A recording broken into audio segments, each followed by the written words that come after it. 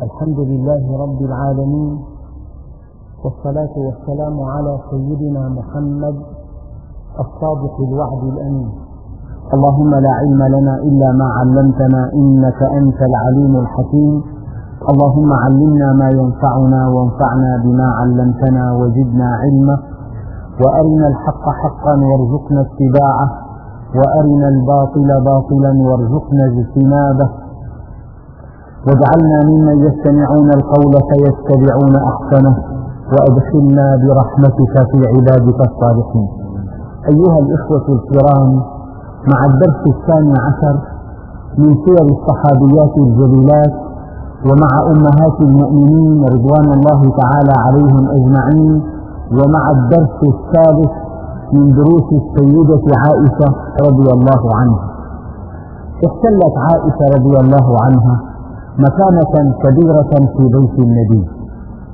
مما جعل أنظار الصحابة تتجه بإعجاب وإكبار واحترام وإذلال نحو بيت أم المؤمنين الثالثة السيدة عائشة.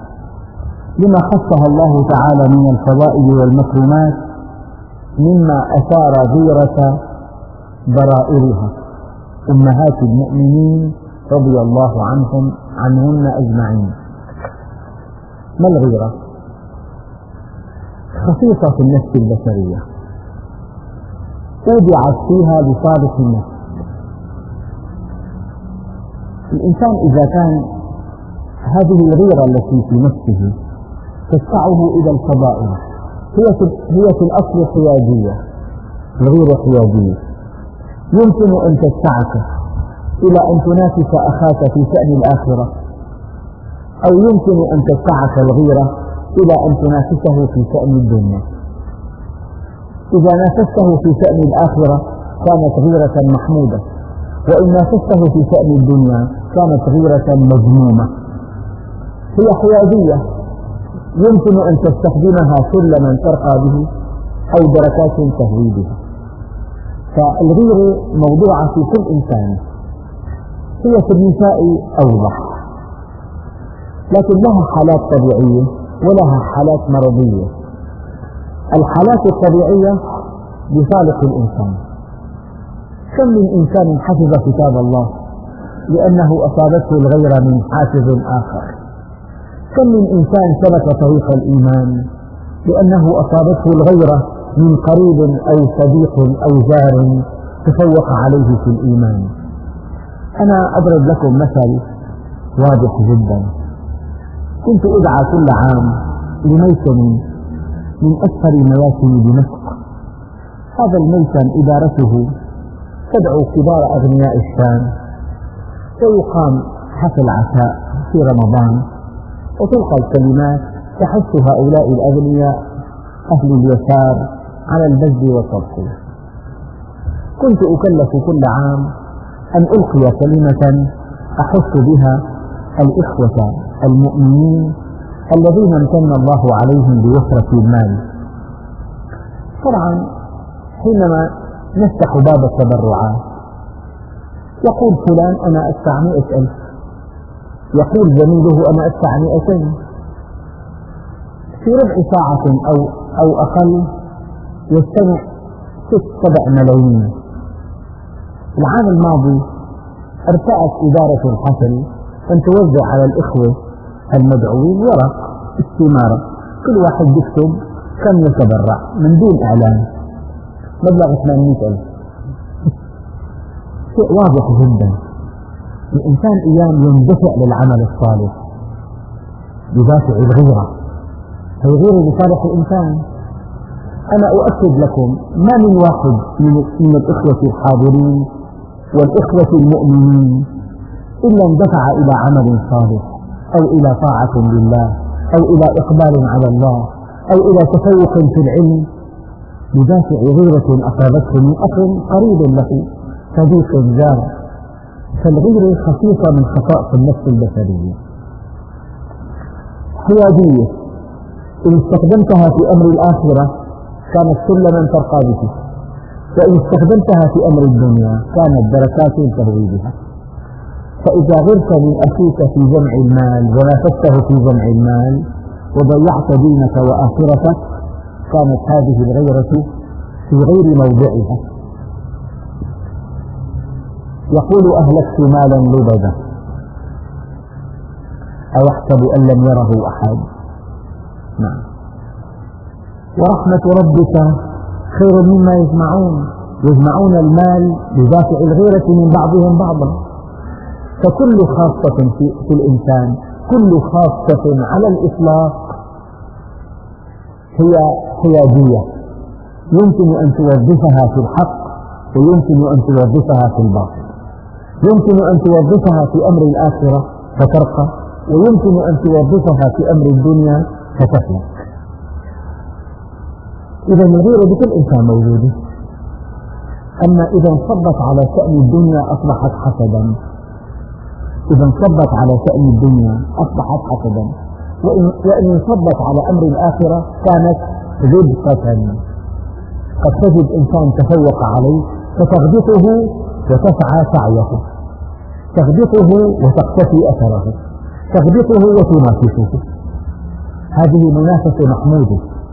وفي ذلك فليتنافس المتنافسون. بمثل هذا فليعمل العاملون.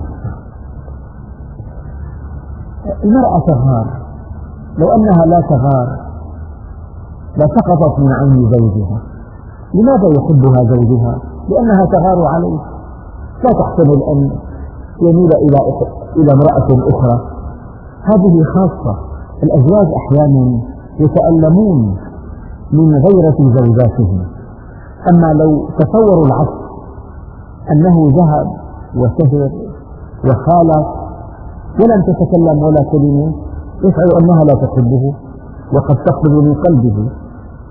فالغيرة صفة في بني الإنسان وهي في النساء أوضح.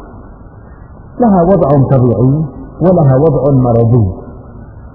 الوضع المرضي أن امرأة تعرف زوجها مؤمنا مستقيما لا يحيد لا يمنة ولا يسرة.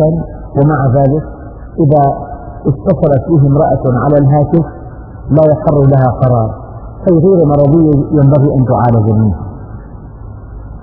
لكن حينما جاءت هذه السيدة الفاضلة السيدة عائشة إلى بيت النبي في المدينة الصحابة الكرام عرفوا أنها بنت سيدي الصديق رضي الله عنه وهو من أحب الناس إلى النبي عليه الصلاة والسلام. وكانت شابة ذكية يعني على مستوى رفيع جدا من العقل والفهم. اتجهت أنظار الصحابة إلى هذا البيت الثالث بيت السيدة عائشة. أمهات المؤمنين وقعنا في الغيرة وهذا شيء من طبيعة المسار والنبي والنبي عليه الصلاة والسلام عبر عن هذه الحقيقة فقال اللهم هذا حكمي فيما أملك فلا تلمني فيما تملك ولا أملك. أنت مكلف أن تعدل بين الزوجين. أما أن هذا العدل التام أما العدل المطلق ليس في وسعك ولا في طاقتك ولن تستطيعه في صحيح البخاري يروى أن هشام يروي لنا هشام عن أبيه رضي الله عنه قال كان الناس يتحرون بهداياهم يوم عائشة. يعني زوجة جديدة. أدخلت على قلب النبي السرور بعد أن ماتت زوجته الوفية السيدة خديجة وجاءت من مكة إلى المدينة وسكنت في غرفة من غرف المسجد فصارت الأنظار تتجه إلى هذا البيت. فقال كان الناس يتحرون بهداياهم يوم عائشة. قالت عائشة فاستمع صواحبي إلى أم سلمة فقلنا يا أم سلمة والله إن الناس يتحرون بهداياهم يوم عائشة. وإنا نريد الخير كما تريده عائشة. فمري النبي صلى الله عليه وسلم أن يأمر الناس أن يهدوا إليه حيث ما كان أو حيث ما جاء. يعني أنا أقول لكم هذه الكلمة. الإنسان لأنه بشر تجري عليه كل خصائص البشر. إذا انتصر على نفسه يرقى نساء نساء النبي عليه الصلاة والسلام امرأة مستقيمة لكنها تحكمها خصائص النساء. مر السيد صفية أهدت إلى النبي طبق طعام طيب. سيدة عائشة ما تمكنت أن تخفي غيرتها فأمسكت الطبق وكسرته. فالنبي عرف طبيعة المرأة. قال غضبت أمكم غضبت أمكم. يعني أحيانا الإنسان لا لا ينبغي أن يطالب زوجته أن تكون مثله. هو رجل وله إدراك واسع وله طبيعة خاصة وهي لها طبيعة خاصة.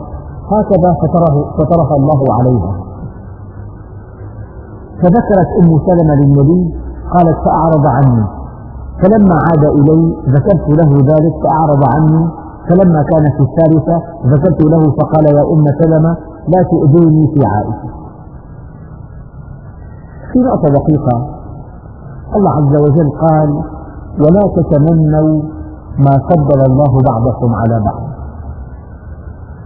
في الكون عدل مطلق وربنا حكمته مطلقة وأفعاله كلها حكيمة. فأنت إذا رأيت أن الله سبحانه وتعالى أعطى إنسانا شيئا ينبغي ألا تحصد وألا تحسد لكن لك أن تهدف ولك أن تسير في الطريق الذي سار فيه. ملك الملوك إذا وهب قم تسألن عن السبب الله يعطي من يشاء فقف على حد الأدب يا أم سلمة لا تؤذيني لا تؤذيني في عائشة. فإنه والله ما نزل علي الوحي وأنا في لحاف امرأة منكم غيرها. يعني يبدو أن هذه الزوجة الطاهرة كانت من أقرب الزوجات إلى الله عز وجل ومن أعلمه ومن أعلمهم بكتاب الله. هلا في شخص إنسان اجتهد اجتهد اجتهد اجتهد وبذل وقته وماله وجهده في سبيل الله الله عز وجل رفع ذكره أعلى شأنه.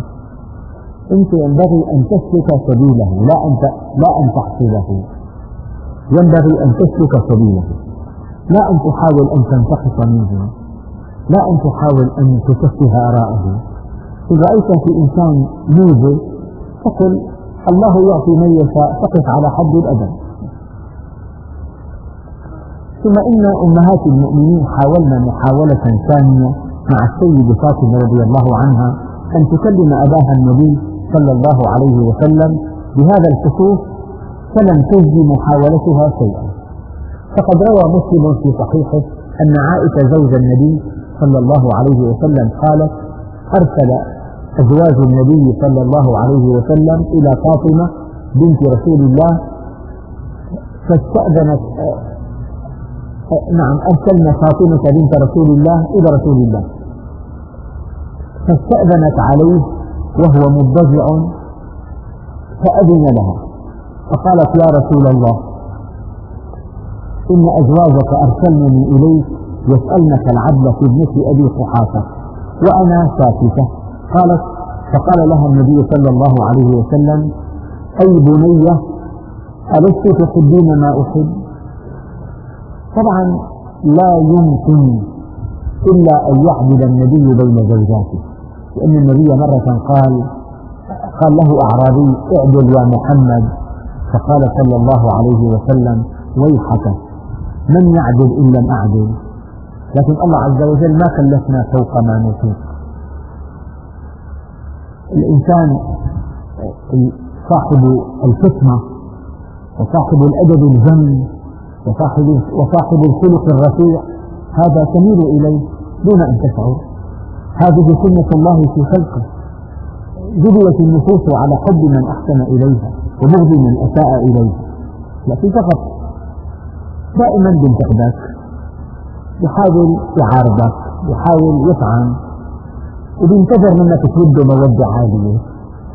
وإنسان ثاني أديب جدا لطيف جدا في خدمتك دائما. يعني فوق طاقة البشر إلا أن تميل إلى هذا المحسن الأديب الذي يتحرى راحته.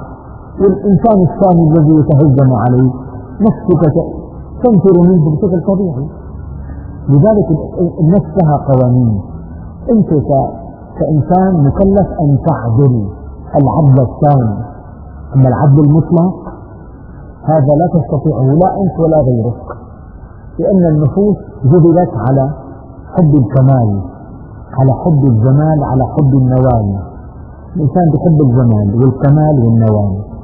النوال العطاء الذي يعطيك تحبه والذي تراه كاملا تحبه والذي منحه الله شكلا جميلا تحبه يعني إذا بده واحد عنده ابن له تألق الأب ما لكن مكلف أن يعطي أولاده بالسواء. مكلف أن يمنحهم العطف بالسواء أما أن القلب هذا بيد الله عز وجل وقد عبر عن ذلك النبي عليه الصلاة والسلام اللهم هذا قسمي فيما أملك فلا تلمني فيما تملك ولا أملك. أي بنية. ألست تحبين ما أحب؟ قالت بلى. قال فأحبي هذه يعني عائشة. أنا أقف عند هذه النقطة قليلا. أنت إنسان شاب له أب في تهجم في سوء أدب في هذا الشاب في محاسبة شديدة في عدم احترام. وابن ثاني في غاية الأدب والإخلاص والإحترام والتربية. بينتظر الأول الأقل أدبا والأقل خدمة أن الأب يحبه محبة رائعة.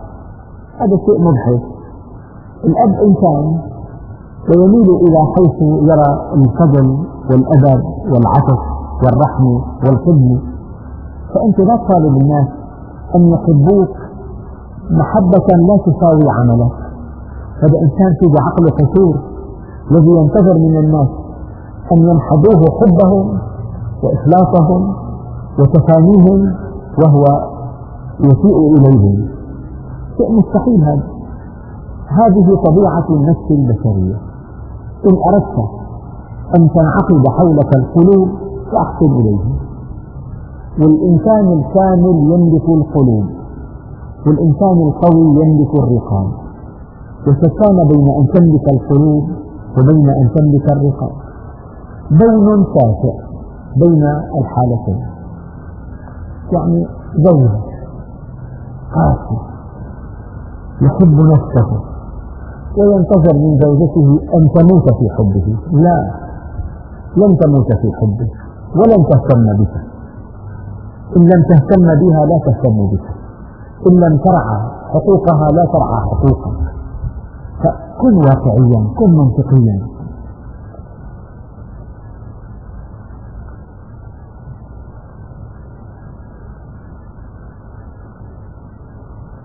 فقامت فاطمة حين سمعت ذلك من رسول الله صلى الله عليه وسلم فرجعت إلى أزواج النبي فأخبرتهم بالذي قاله وبالذي قال لها النبي صلى الله عليه وسلم.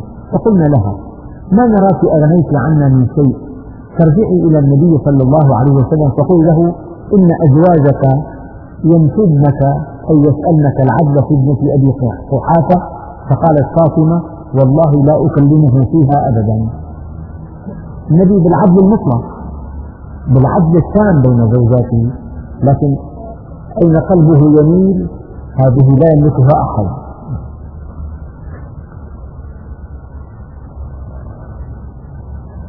ثم أرسلنا زينب بنت جحش زوج النبي صلى الله عليه وسلم وكانت تضاهي عائشة عند رسول الله في الحظوة والمنزلة.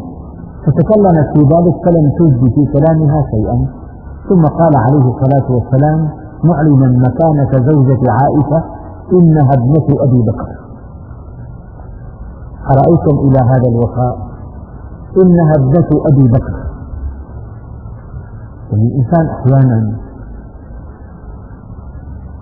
يتألم أشد الألم. حينما ينخض كل إخلاصه وكل حبه وكل خدمته لإنسان ثم هذا الإنسان ينسى له ذلك.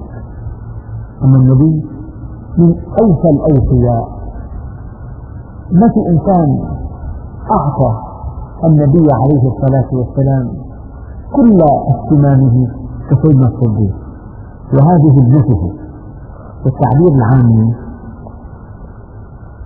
يعني كرم العين تكرم مرجعين فلأنها بنت أبي بكر لها عند النبي قدوة خاصة.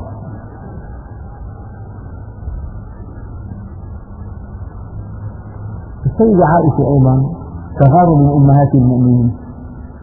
كانت أمهات المؤمنين يغرن على رسول الله من عائشة وكانت عائشة بينهن أشدهن غيرة عليه منهن وعذرها أنها أول من تفتح قلبها لحب النبي صلى الله عليه وسلم بعد خديجة. حيث كانت خطتها بعد وفاة خديجة رضي الله عنها وأنها أصغرهن سنا وما تزوج عليه الصلاة والسلام بكرا غيرها يعني في مع أسباب أن تزهو على ضراتها أصغرهن سنا وبنت أحب الخلق إليه وكانت الوحيدة البكر التي تزوجها النبي عليه الصلاة والسلام. يعني هذا الدرس له معنى. يعني بكل بيت في مشكلة النبي بشر. قل إنما أنا بشر مثلكم. واحد طرق باب سيدنا عمر ليشكو له زوجته. فسمع صياح تولى هاربا سيدنا عمر سمع باب يطرق ثم توقف الطرق فخرج رأى أعرابي. فدعاه ناداه رجع. لما طرقت وانصرفت قال له جئتك أشكو مما أنت منه تشكو. أخواننا الكرام إن هذه الدنيا دار السواء لا دار السواء ومنزل فرح لا منزل فرح. فمن عرفها لم يفرح برخاء ولم يحزن لشقاء الدنيا مرتبة على المشكلات مرتبة على بعض النقص. رحمة بالإنسان تصور أن الدنيا تأتيك كما تريد. والله تكره لقاء الله. والله.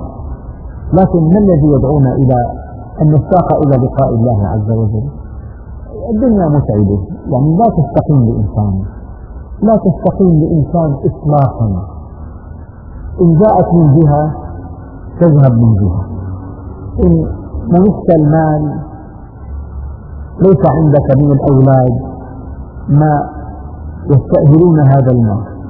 وإن جاءك الأولاد الأبرار قد لا تجد المال الكافي له وإن حظيت بزوجة صالحة لا تنزل وإن أنجبت قد يكون أولادها على غير ما تريد.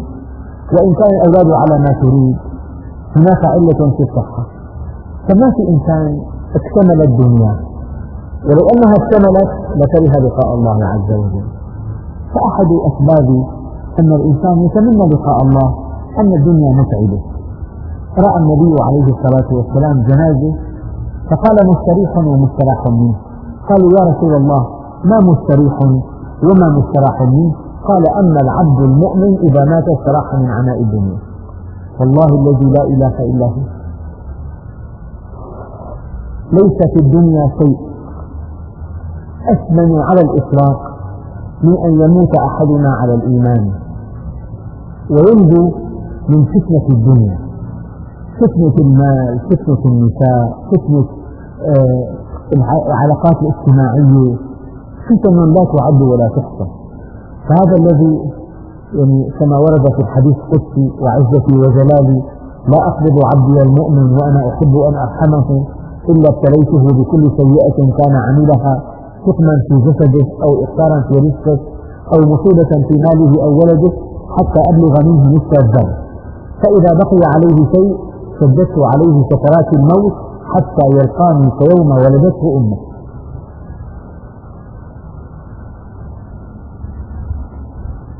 ولقد كانت الغيرة تنتاب, تنتاب عائشة إذا علمت أن النبي صلى الله عليه وسلم سيتزوج بعدها أو سيزيد من زوجاته.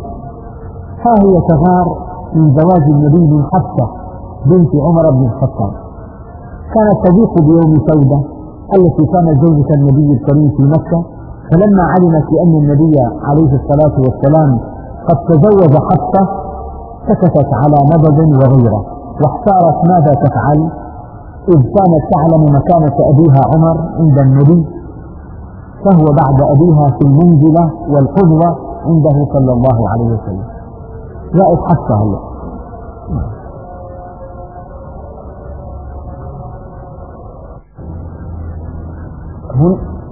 هناك نقطة دقيقة جدا.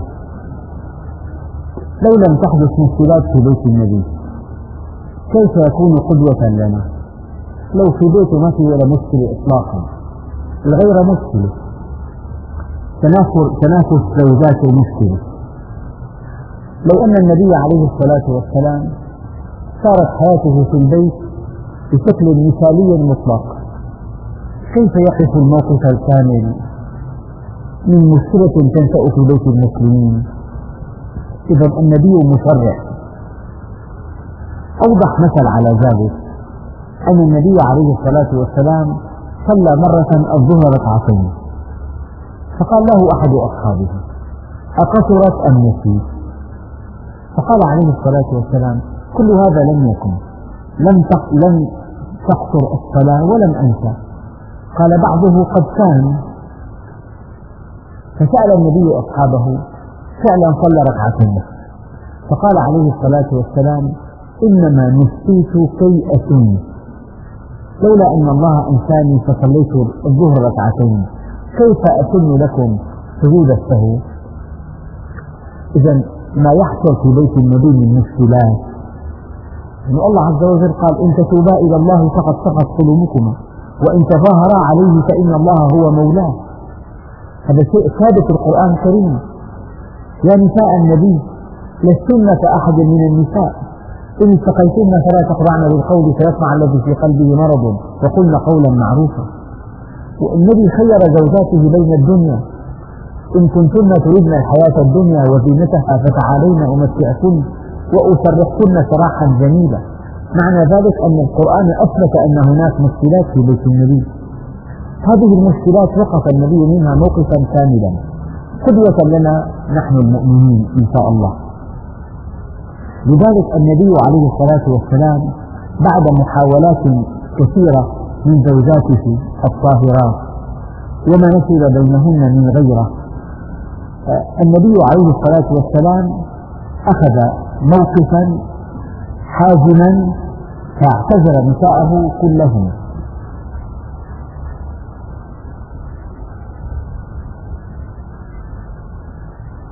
مضى شهر بأكمله. في شغل عنهن وهن في شغل به. فمنهن من روعها الهجر ومنهن من كان يرقبه في عزلته دون أن تجرؤ واحدة منهن أن تخاطبه في أمره. حتى إذا استكمل الهجر شهرا بتمامه عاد عليه الصلاة والسلام إلى نسائه مكتفيا بتأديبهن بذلك الإنذار لئلا يعدن إلى مثل ما فعلت بعض أزواجه. من هذه المنافسات بين زوجاته الطاهرات وهذه الغيرة الحادة هذا يعني مما يضعف صفاء النبي عليه الصلاة والسلام فاتخذ هذا الموقف وتركهن جميعا شهرا بأكمله فلما انتهى الشهر بدأ ببيت عائشة فدخله واستقبلته في عتاب الرقيق قالت يا رسول الله بأبي أنت وأمي قلت كلمة لم ألقي لها بالا فغضبت علي. هذا يفيدنا أيها الإخوة. يعني إنسان نسب خلاف بينه وبين زوجته. تعود نفسه يكون لطيف. وتعود نفس الزوجة تعتذر أحيانا. الاعتذار يذيب المشكلة ذوبان هلا في أزواج يركب كل منهما رأسه ويتخاصمان شهرين وثلاثة وأربعة وثمن أحيانا. لو أن الزوجة تمتعت بتواضع لعلني لعلني أغضبت أنا أعذرني أستميحك عذرا كيف مشكلة هو إذا كان كان في سفر قال لعلي خفيت عليك أرجو أن لا تؤاخذيني انتهى الأمر. شوف الموقف. يا رسول الله بأبي أنت وأمي قلت كلمة لم ألقي لها بالا فغضبت علي. ثم أقبل على أهله وهي مستطردة في قولها. أقسمت أن تهجرنا شهرا ولما يمضي منه غير تسع وعشرين تقول هذا مداعبة له. فقال عليه الصلاة والسلام نعم الشهر يكون تسعة وعشرين. هو قال شهر لكن بدأ فك الحصار بعد ساعة يوم حتى أنت الشهر فقال الشهر تسعة وعشرين. يعني كثير لطيف في, كلام لطيف بين الزوجين مداعبة بالقول. الإنسان كان إذا دخل بيته بساما ضحاكا عليه الصلاة والسلام. الإنسان كان إذا دخل البيت واحد من أهل البيت. كان يقول عن النساء إنهن المؤنسات الغاليات. أنا شوف من أعقل الرجال اللي عنده مودة ولطف ونفس سمية وكلمات معسولة من الزوج ومن الزوجة. والأمر لا يحتمل خصومات بالطويلة ما لا يحتمل. طبعا الحديث عن المشكلات التي جرت في بيت النبي حديث يطول لكن النبي بشر ولولا أنه تجري عليه كل خصائص البشر لما كان سيد البشر. لولا أنه بشر وتجري عليه كل خصائص البشر لما كان سيد البشر.